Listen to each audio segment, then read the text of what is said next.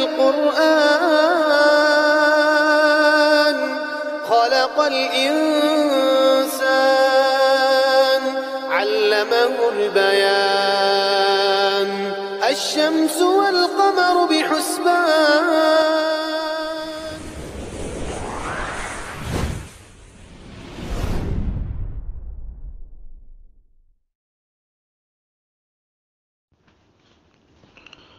السلام عليكم ورحمة الله وبركاته الحمد لله والصلاة والسلام على رسول الله وعلى آله وصحبه ومن والاه أما بعد أعوذ بالله من الشيطان الرجيم بسم الله الرحمن الرحيم وما آتاكم الرسول فخذوه وما نهاكم عنه فانتهوا واتقوا الله إن الله شديد العقاب গোলাম আজম ভাই আপনি মালয়েশিয়া থেকে প্রশ্ন করেছেন হাদিস কখন লিপিবদ্ধ করা হয় আপনি গুরুত্বপূর্ণ একটি প্রশ্ন করেছেন আলহামদুলিল্লাহ এই বিষয়ে অনেক গুরুত্বপূর্ণ তথ্য রয়েছে। এটি গুরুত্বপূর্ণ বইয়ে। বইটির নাম হলো আল মাদখাল ফি তারিখ সুন্না এই কিতাবটি আল মাদখাল ফি তারিখ সুন্না মদিনা ইসলামী বিশ্ববিদ্যালয়ের হাদিস ডিপার্টমেন্টে পড়ানো হয়। লেখক হলেন ডক্টর হানি আহমদ ফকি। তিনি বর্তমান মদিনা ইসলামী বিশ্ববিদ্যালয়ের টিচার। তিনি বইটি লিখেছেন আল মাদখাল ফি তারিখ সুন্না অর্থাৎ সুন্নার ইতিহাস সম্পর্কে বইটি তিনি লিখেছেন। আগামীকাল এই বইটি আমার পরীক্ষা। আপনি প্রশ্ন করেছেন মাসাল্লাহ অনেক অনেক ধন্যবাদ আপনাকে।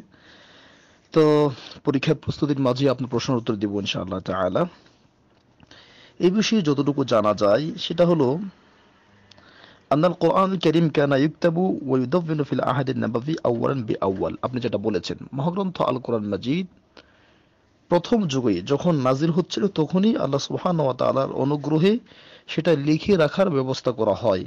মহাগ্রন্থ আল কোরআন মাজিদ وكان للنبي صلى الله عليه وسلم جماعة من الصحابة يسمون كتاب الوحي عددهم الأربعين এই কোরআন মাজিদ লিখে রাখার জন্য রসুল সাল্লাহ সাল্লামের কিছু লেখক ছিলেন যাদের সংখ্যা ছিল প্রায় চল্লিশ জন চল্লিশ জন কিন্তু আসলেও আম্মা সন্না আন্নাবাবিয়া ফাকারাত বেখলাফি দালিক হাদিস ছিল মহাগ্রন্থ আল কোরআন মাজিদের বিপরীত, তার মানে হাদিসটা লেখা হতো না। ফাহিয়া লাম ফি জামানের নবী সাল্লাল্লাহু আলাইহি সাল্লাম আলা নাহবিল্লাযী কুতিবা বিহি আল কোরআনুল কারীম। কোরআন মাজিদ যেভাবে লিখে রাখা হতো, হাদিস সেভাবে লিখে রাখা হতো না। ইভেন এমনকি হাদিস লিখে রাখতে নিষেধ করা হতো। যেমন নাহার নবী আলাইহি সাল্লাম ফি বিদায়াতিল আমরি আন গায়রিল কোরআন আল কারীম। আল্লাহর রাসূল আলাইহি সাল্লাম ইসলামের সূচনা লগ্নে তিনি হাদিস লিখে রাখতে নিষেধ করতেন। যেমন একটা হাদিস এসেছে, হাদিসটা সহি মুসলিমের তিন হাজার চার নম্বর হাদিস। عن ابي سعيد الخدري رضي الله تعالى عنه ان رسول الله صلى الله عليه وسلم قال ابو سعيد الخدري رضي الله عنه বলেন রাসূল সাল্লাল্লাহু আলাইহি সাল্লাম বলেছেন লা তাকতুবু আন্নি তোমরা তোমরা আমার কাছ থেকে কোনো কিছু লিখে রেখো না ওমান কাতাবা আন্নি গায়রুল কোরআন যারা আমার কাছ থেকে কোরআন ছাড়া কিছু লিখেছো ফালইউমহি সেজন্য ওটা মুছে ফেলাই ওয়াহাদ্দিসু আন্নি ওয়ালা হারাজ আমার কাছ থেকে বর্ণনা করতে পারো কিন্তু লিখে রাখার প্রয়োজন নেই ওমান কাতাবা আলাইয়া মুতাআম্মাদান মুতাআম্মিদান যে আমার উপর মিথ্যা অপবাদ দেবে ফালিয়াতাবা ওয়া মাকাদাহু মিনান নার সেজন্য তার স্থান জাহান্নাম বানিয়ে নেয় এই হাদিসটি ইসলামের সূচনা লগ্নে ছিল। তো এই হাদিসটি সম্পর্কে আলিমদের বক্তব্য কি? আন্না ওলামা সুন্না বাইয়ানু আন্না হাদিস মানসুখ। ওলামাই কেরামগণ বলছেন হাদিসটা মানসুখ হয়ে গিয়েছে। কারণ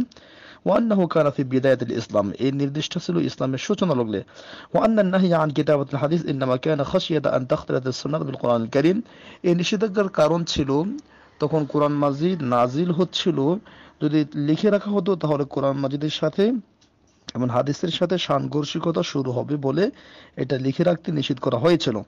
তো যেহেতু কোরআন মাজিদ নাজিল শেষ হয়ে গিয়েছে, তো তখনই আল্লাহ রসুল মৃত্যুর পরেই এটা লেখা শুরু হয়, মূলত। তো এই বিষয়ে আমি আপনাকে আরও তথ্য দিচ্ছি। সেটা হলো রসুল্লাহ সাল আলহিসাল্লামের আরও কিছু হাদিস। ইন্না রসুল্লাহ আমারনা আল্লাহ নাকতুবা হাদিসে আল্লাহ রসুল সাহাবাহিকরামদেরকে বলতেন যে, তোমরা আমার কোনো কিছু লিখে রাখো না। এইভাবে আল্লাহ রসুল্লাহ সাল্লাম বলতেন। তবে রসুল্লাহ সাল্লাহ আলাইসাল্লাম আরেকটি প্রসিদ্ধ হাদিস সহি দুই হাজার চারশো চৌত্রিশ নম্বর হাদিস, মুসলিম তেরোশো পঞ্চান্ন নম্বর হাদিস আমার আমার হবে কিতাবতি খুদ্বাতি আমার ফাতেহ মক্কা। আল্লাহ রসুল সাল্লাম মক্কা বিজয় যে খুদ্া দিচ্ছিলেন তো তখন এটা আল্লাহ রসুল সাল্লাম আবু শাহ নামক এক ব্যক্তিকে লিখে রাখতে বললেন। তো এই হাদিস প্রমাণ করে যে রসুল্লাহ সাল্লাহ সাল্লাম পরবর্তীতে কিছুদিন পরেই কোরআন মাজিদ নাজিল হচ্ছিল বটে, কিন্তু কিছুদিন পরেই রসুল সাল্লাম হাদিস লেখা দেখার নির্দেশ দিয়েছিলেন। আরও স্পষ্ট হাদিস আপনি পাবেন। হাদিসটি আবু দাউদে এসেছে, তিন হাজার ছয়শো ছেচল্লিশ নম্বর হাদিস। হাদিসটি নাসিরুদ্দিন আলবানী সহি বলেছেন। হাদিসটি হচ্ছে আবদুল্লাহ বিন আমর বিন আস রাদিয়াল্লাহু আনহু, তিনি বলেন যে, কুনতু আক্তুবু কুল্লা শাই আসমা মিন রাসূলিল্লাহ সাল্লাম আমি আল্লাহর নবীর কাছ থেকে যা শুনতাম, তাই লিখে রাখতাম, মুখস্থ রাখার জন্য। তো কুরাইশরা, মক্কার কুরাইশরা তারা আমাকে বলল, আতাকতুবু কুল্লা শাইইন তাসমা মিন রাসূলিল্লাহ?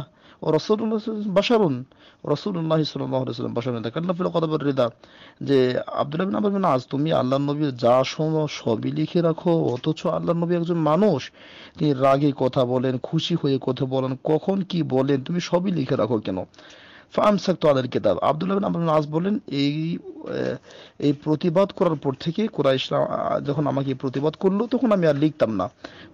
যালিকা লিরাসূলিল্লাহ সাল্লাল্লাহু আলাইহি ওয়াসাল্লাম। বিষয়টি আমি রাসূল সাল্লাল্লাহু আলাইহি ওয়াসাল্লামের কাছে বললাম ফাআমা বিইসবাহি ইলা ফি আল্লাহ রাসূল সাল্লাল্লাহু আলাইহি শোনার পরে তার নিজের হাতের আঙ্গুল দিয়ে তার নিজের মুখের দিকে ইঙ্গিত করলেন। ফাকালা তিনি বললেন উক্তুব তুমি লিখো তো ওই সত্তার যার হাতে আমার প্রাণ, মা ইয়াখরুজু মিনহু ইল্লা আমার মুখ থেকে সত্যি ছাড়া, আমার মুখ থেকে কোরআন এবং সুন্নাহ ছাড়া আল্লাহর নির্দেশ ছাড়া অন্য কোনো কিছু বের হয় না। সুতরাং এটাও প্রমাণ করছে যে হাদিস রসুল্লাহ সাল্লাহ সাল্লামের যুগ থেকেই লেখার নির্দেশ ছিল, এমনকি সাহাবাই কেরামগণ লিখতেন। যে বিষয়ে আমি আপনাকে বেশ কয়েকটা দলিল দিলাম, যে রসুল্লাহ সাল্লাহ আলিয়া সাল্লামের যুগেই হয়তো প্রথম শুরুতে, শুরুর দিকে রাসুল সাল্লাহ সাল্লাম নিষেধ করেছিলেন, ওই হাদিসটি মানসুখ হয়ে গিয়েছে। আর কিছু পরেই নবী সাল্লাহ সাল্লাম সাহাবা কিরামদেরকে হাদিস লিখে রাখতে বলতেন। সাহাবা কিরাম কোন হাদিস লিখতেন। যেমন আবু শাহ কথা বললাম, আব্দুল্লাহ বিন আমর বিন আস আনহুর কথা বললাম। এমনকি আপনি জেনে আশ্চর্য হবেন, আমরা পৃথিবীর সকল মুসলিমই জানি যে সাহাবাই কেরামদের মধ্যে আবু হোরায়রা রাদিয়াল্লাহু আনহু আল্লাহর নবীর কাছ থেকে সবচেয়ে বেশি হাদিস মুখস্থ করেছেন। আল্লাহ নবীর সবচেয়ে হাদিস বেশি সংরক্ষণ করেছেন। তার সংখ্যা কত? পাঁচ হাজার তিনশো চুয়াত্তর। পাঁচ হাজার তিনশো চুয়াত্তরটি হাদিসের হাফেজ আল্লাহ রসুলের যত- সাহাবি আছে, সকল সাহাবিদের মাঝে আবু হুরায়রা সবচেয়ে বেশি হাদিস মুখস্থ করেছেন। তার সংখ্যা কত? পাঁচ হাজার তিনশো চুয়াত্তর। কিন্তু আবু হুরাইরা রদি আল্লাহ নিজেই বলছেন যে, আমার চেয়েও বেশি নবী সাল্লাহ আলাইসাল্লামের হাদিস সংরক্ষণ করেছেন আবদুল্লাহ বিন আমর বিন আস। কারণ কি? আমি লিখে রাখতাম না, আমি শুধু মুখস্থ করতাম। আর আব্দুল্লাহ বিন আমর বিন আস লিখে রাখতেন। তার মানে এখান থেকে বোঝা যাচ্ছে যে সাহাবাই কিরামদের যুগে লিখে রাখা নির্দেশ ছিল এবং তারা লিখে রাখতেন। হ্যাঁ এবার আপনার কিতাব আকারে বা বড় বড় পাণ্ডুলিপি আকারে কখন থেকে হাদিস লেখা শুরু হয়, এই বিষয়ে কারও কোনো দেবত নাই। এই বিষয়টা স্পষ্ট, সেটা হলো অমর বিন আব্দুল আজিজ, যাকে খলিফা খামেস পঞ্চম খলিফা বলা হয়। অমর বিন আব্দুল আজিজ অর্থাৎ একশো হিজরির শুরুর দিকে। এক, একশত হিজরির শুরুর দিকে ওমর বিন আব্দুল আজিজ রহিমাহুল্লাহ এর নেতৃত্বে হাদিস সুন্দরভাবে আপনার বড় বড় ভলিউম আকারে বা কিতাব আকারে লিপিবদ্ধ করা শুরু হয় একশো হিজরিতে। ভালো করে মনে রাখবেন বিষয়টা। একশো হিজরিতে এটার লেখনী শুরু হয়। যেমন এই বিষয়ে অনেক কথা আছে, যেমন আমি কয়েকটা বলছি। أول محاولة لتدوين السنة النبوية وجمعها بشكل بشكل شامل ورسمي كانت على يد الخليفة الأموي العادل عمر بن عبد العزيز তিনি মৃত্যুবরণ করেছেন একশো এক হিজরি তার মানে ওমর বিন আব্দুল আজিজ ইম- ইন্তেকাল করেছেন একশো এক হিজরি তার মৃত্যুর আগেই আটানব্বই নিরানব্বই হিজরিতে হিজরিতে বা এর আগেই তে- আহ, কিতাব আকারে বড় বড় পাণ্ডুলিপি আকারে হাদিস লেখা শুরু হয় عندما كتب إلى عامل في المدينة المنورة أبو بكر بن محمد بن عمرو بن حاز তা তিনি আহ, আম- আম- ওমর বিন আব্দুল আজিজ তিনি আপনার তার একজন আমিল ছিলেন কর্মকর্তা ছিলেন মদিনাতে। তার নাম হলো আবু বকর বিন মোহাম্মদ বিন আমর বিন হাজ। একশো বিশ হিজড়িতে তিনি মৃত্যুবরণ করেন। তার কাছে উমর বিন আব্দুল্লাহ চিঠি লিখলেন। কি চিঠি? অনজুর মা কানা বিন হাদিস রসুল ফাকতুব। যেটা আল্লাহ রসুল হাদিস সেটা তুমি দেখো এবং লেখো।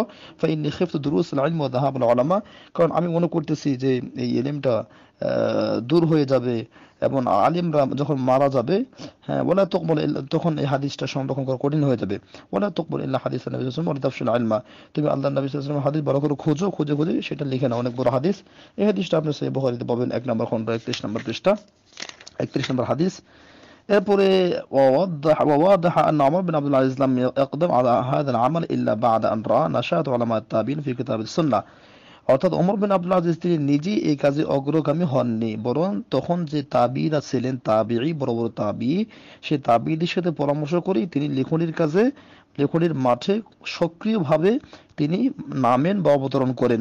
ওমর বিন আব্দুল আজিজ তিনি আদেশ করেন, হাফিজ আবু বকর মোহাম্মদ বিন শেহাবাজ জুহরি অর্থাৎ মোহাম্মদ বিন শিহাব জুহরিকে ওমর বিন আব্দুল আজিজ নির্দেশ দিয়েছিলেন যে আল্লাহ নবী সাল্লাল্লাহু হাদিসগুলো আপনি সংরক্ষণ করুন। আর আপনার মোহাম্মদ বিন শিহাব জুহরি একশো চব্বিশ হিজরিতে তিনি ইন্তেকাল করেন। সমাজ তিনি এটা অনেক বড় ইতিহাস। বলতে গেলে আরও অনেক সময়ের প্রয়োজন। তো যেটা বুঝতে পারলাম, আমরা রসুল্লাহ সাল্লাহ সাল্লামের যুগে হাদিস লেখার আদেশ ছিল সাহাবাই কালামকে মুখস্থ করে রাখতেন, কেউ কেউ লিখতেন।